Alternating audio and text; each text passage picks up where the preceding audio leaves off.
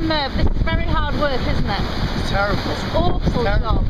How long can you carry on doing such a terrible job? How long are you on board? Let's get around the world now. Uh, not very long then. and tell me, do you like pork scratching? Love them. How about hairy ones? Always.